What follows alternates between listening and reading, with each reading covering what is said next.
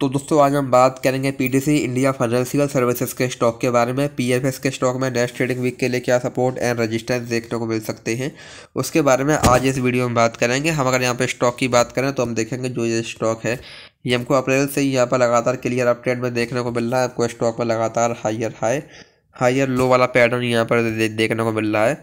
हमको यहाँ पे स्टॉक में बीच बीस यहाँ पे गिरावट भी देखने को मिली, लेकिन स्टॉक ने कभी भी प्रीवियस अपने प्रीवियस लो को ब्रेक नहीं किया। और हमको स्टॉक में लगातार तेज़ी ही देखने को मिल रही है। अभी रिसेंटली भी हमको यहाँ पे स्टॉक में गिरावट देखने को मिली थी, लेकिन अभी अगेन हमको यहाँ पे स्टॉक में तेज़ी देखने को मिली है। आज भी हमको यहाँ पे स्टॉक में 2.15 परसेंट की यहाँ पर तेज़ी देखने को मिली है।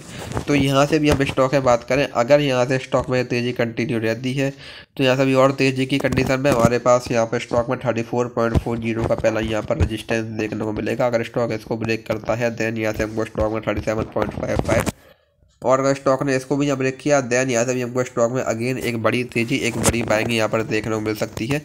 इसके बाद हमको यहाँ पे स्टॉक में फोर्टी और इसके बाद हमको यहाँ पे स्टॉक में फोर्टी फाइव और फिफ्टी तक के लेवल्स भी यहाँ पर देखने को मिल सकते हैं एज ए नेक्स्ट यहाँ पर रजिस्टेंस वहीं यहाँ से अब अगर स्टॉक में गिरावट आती है तो यहाँ से गिरावट की कंडीशन में हमारे पास यहाँ पर स्टॉक में thirty one point nine five का पहला यहाँ पर सपोर्ट देखने को मिलेगा। अगर स्टॉक इसको ब्रेक करता है देन यहाँ से हमको स्टॉक में thirty point five zero and then यहाँ से हमको स्टॉक में अगेन नाइन ज़ीरो तक के लेवल्स भी यहाँ पर देखने को मिल सकते हैं एज ए नेक्स्ट पर सपोर्ट तो ये स्टॉक में कुछ इंपॉर्टेंट लेवल्स हैं, आप इन पर ध्यान दे सकते हैं। बाकी वीडियो में कोई बाय सेल होल्डिंग सलाह नहीं है। वीडियो केवल एजुकेशनल पर्पज़ के लिए है। धन्यवाद।